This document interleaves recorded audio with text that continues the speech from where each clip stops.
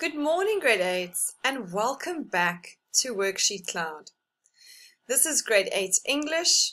I'm Mrs. Goslet, and if you have a question during the lesson, please send an email with your question to grade8 at worksheetcloud.com. Hello. Now, when I hear hello, I always think of the Adele song, so we have to start with some of her good music. Are you ready? Hello from the other side. At least I can say that I've tried to tell you I'm sorry for making you work. Yeah, I'm making you work today, grade 8s. So if you can grab that notebook and pen, that would be fantastic. If you joined me yesterday, we did visual literacy advertising and we learned all about the aspects of how to analyze an advert. Today, we will be looking at cartoons. Cartoons.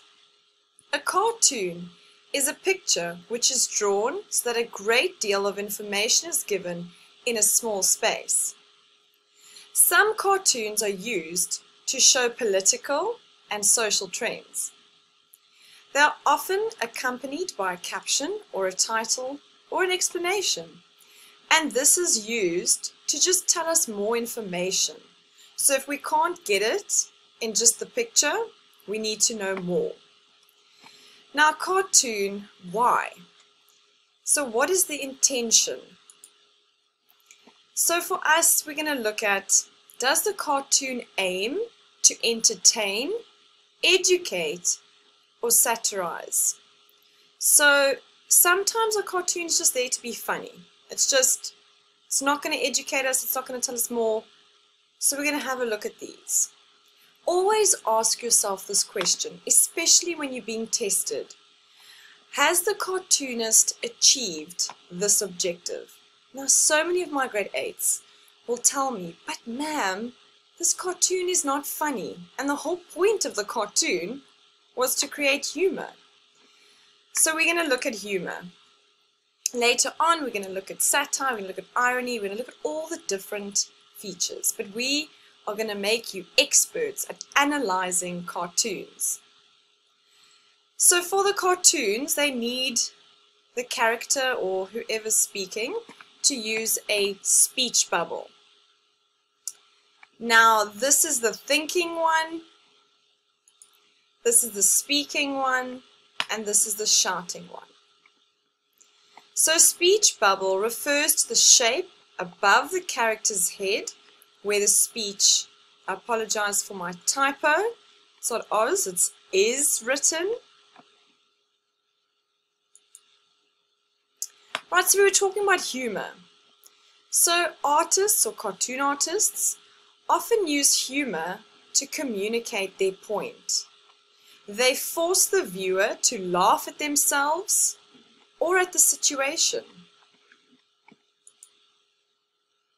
So here's an example. So it looks like Snoopy is outside. And he says, all right, let's see what we have here for our evening meal. So what do we have, guys? And then he says, I brought the hot dogs, Woodstock brought the buns. So they're listing what each person's brought. Conrad bought the mus uh, brought sorry the mustard Bill brought the catsup. Now, can you see they used a device here, catsup? It's supposed to be something else. And this is actually called a malapropism. So, it's supposed to be ketchup, the tomato sauce. And lastly, we can see Snoopy saying, and Oliver brought the TV guide. Now this is supposed to be funny. Ha ha ha, Oliver, you're so silly. So they're outside. What's he going to do with a TV guide? They can't go and just put up a TV and, and look, okay guys, let's look. What's in the TV guide so we can watch outside? No, and that just takes away from camping or It looks like a almost like a Girl Scouts, Guy Scout, that type of thing. Scouting to be in the outdoors. So you don't need a TV guide. They thought he'd bring, you know, food or drinks or something else. So this cartoonist is trying to be funny. So it's supposed to be humorous. On a test or exam, they will be very specific. So as you can see, this is called frame 1. This is frame 2. This is frame 3. And this is frame 4. So they'll definitely ask you to look at frame 4 and to explain the humor. Here's another one which will relate to our time now. Fairy tales in pandemic time. So we know that the traditional fairy tale, if the princess is sleeping or she's uh, poison has been, something bad's happened to her, how do we wake her up from the spell? We give her a kiss. Well, the prince has to give her a kiss. And now, with coronavirus, you can't go near her. So all the doctors, or we, Snoopy, what do you call them? The, um, I want to say the three wise men, but that's not relevant. Um, the dwarves.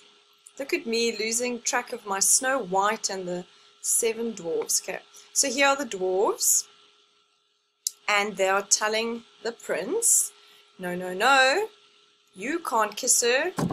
Okay, so they're just trying to make light, trying to make fun, and we're trying to have a good laugh in a serious time, which we'll get to just now is also called satire. But it's supposed to be funny.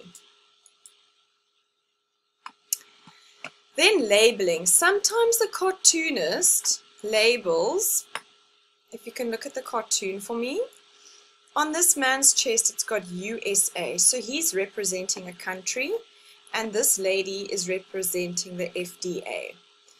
Now, if you don't know what the FDA is, it stands for Food and Drug Administration. So they are responsible for testing food and obviously if people are taking drugs.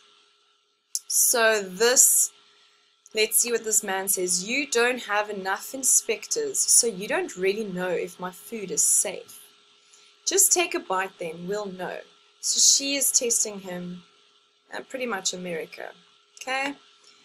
Let's see what labeling says. The cartoonist will often label people, so that's what they've done here, or objects in a cartoon to make sure the viewer clearly understands them.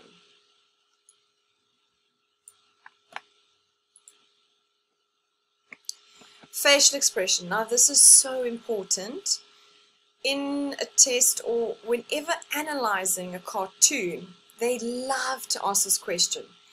And it's really simple and basic and most of the time my grade 8s get tricked because they're very specific. They won't say facial expression and body language. Because if you do, let's just look at the first one. If they ask you, what is his facial expression? You can't mention his hands because his hands that's a body gesture that's a body that's body language. So you have to look at the face. What is the face telling you? So sticking his tongue out. So you've got to say tongue is sticking out eyes are closed. And then obviously what the emotion is. So let's look at this one what would you say his facial expression is? So he looks quite bored or tired. How do we know this? And now you give the facial expression. His mouth is wide open or in a yawning manner, and his eyes are half open or they closed a little bit. And that shows us that he's bored or tired. Let's go to a more expressive one. Okay. This one looks like he's terrified or shocked or surprised. How do we know this? Now we're going to explain the facial expression. Remember, hands, body language. So we're not even going to mention that. So we're going to look at his mouth and his eyes. Okay, so his mouth is wide open. His eyes are also enlarged, um, really big. Um, and this is supposed to show us that he's terrified. Okay. Then this last one, he looks like he's just being a bit silly. But what would his facial expression be?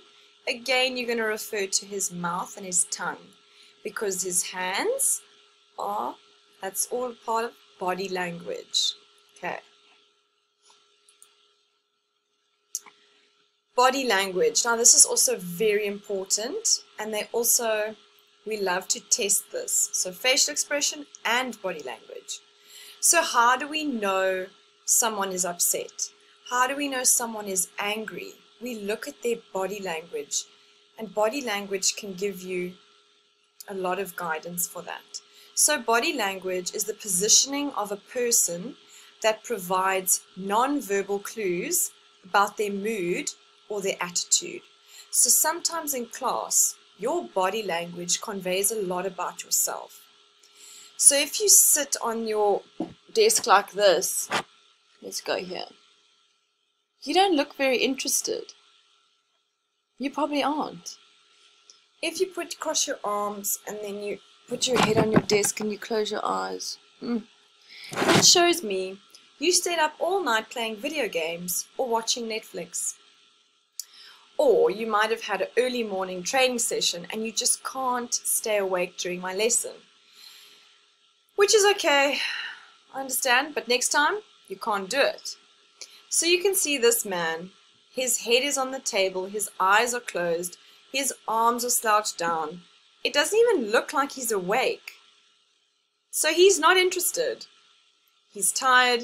He is not interested in the lady sitting opposite him. And let's look what she has to say. Your body language says you've lost interest. Okay. If you were sitting upright, like you do in class, and if you raise your hand and you're interested and your eyes on the teacher, that shows you're interested in learning and excited. He's not any of those.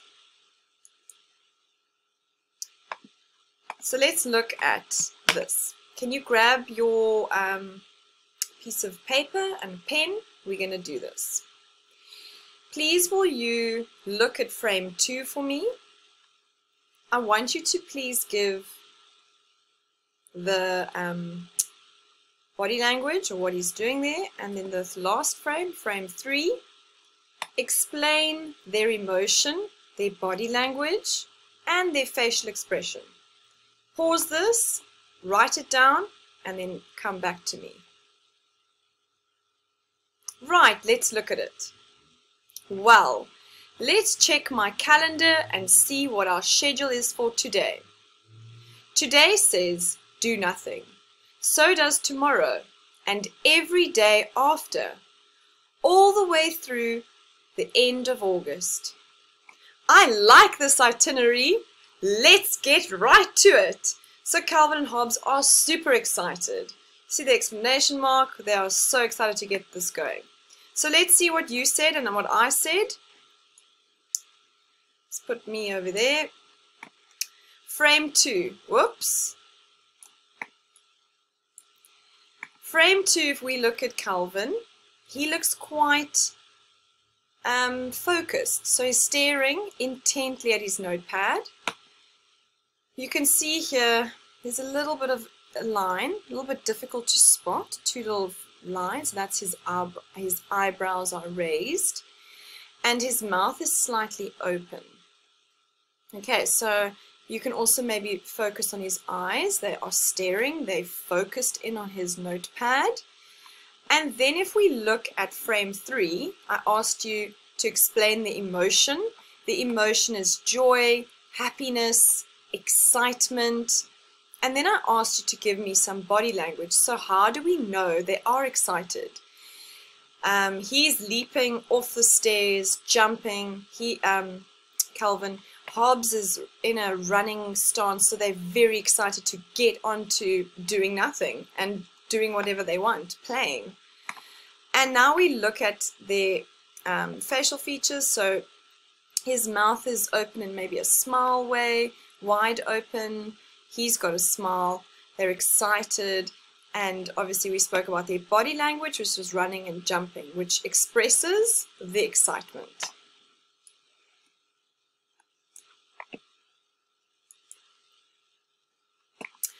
Irony.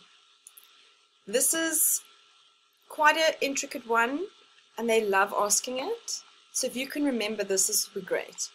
So irony is when one thing is said, but something else is meant. So let's have a look at this cartoon. The cat has brought in a bird, dead bird, because it's in his mouth and we're going to expect that.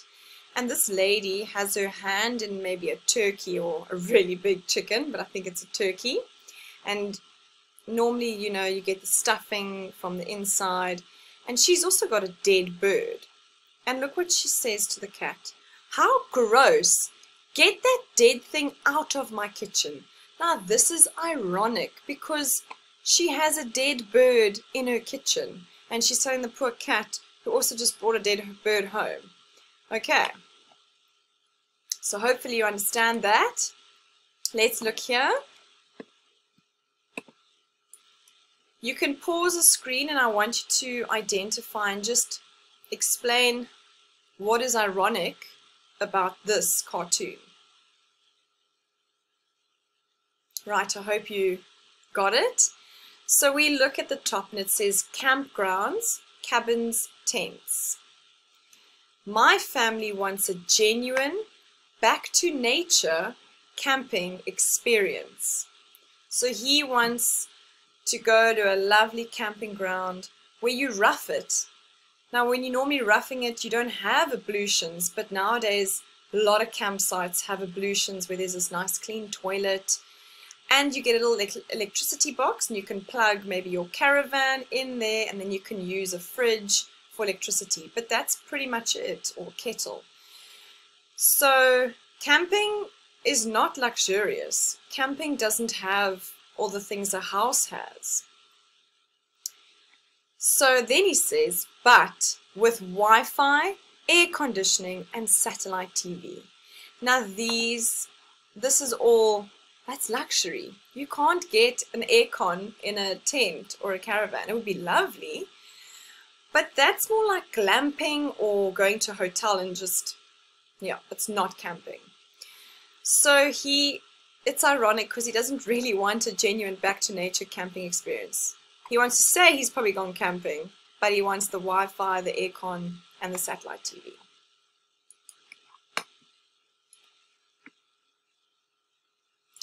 Another one is a pun, and a pun is a play on words. And if you can remember that explanation, it'll be a great help.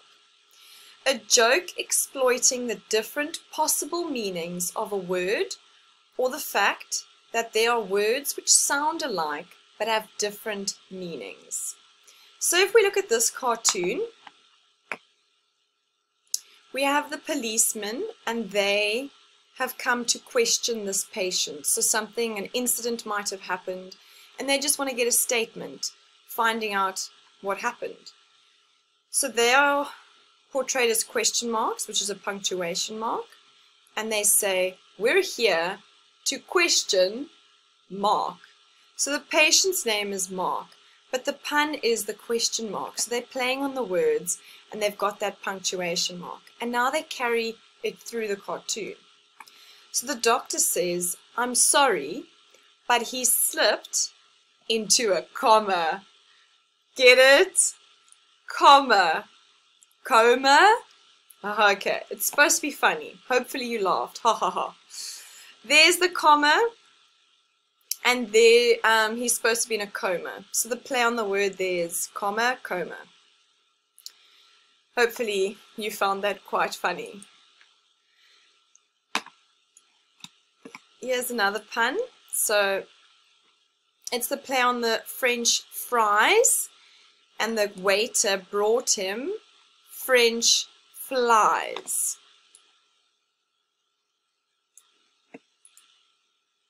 Okay, so the man wanted chips or fries, but the waiter misinterpreted and gave him flies. So there was a misinterpretation of the word fries and flies. Satire. Now this is when you use a very light or trying to make it light and funny. So you use humor to make a serious point. It involves using wit, irony, or sarcasm to highlight human vices, our faults and flaws. So when we think about murder and guns, it's a serious situation. So let's look at this cartoon. They're watching the news and it's talking about school massacres. Guns cause all of this trouble. So the parents are outraged, so upset because guns are violent and they're causing murder. Now you have the kid, their child, playing a video game. His whole role in this video game is to go and murder people, to kill.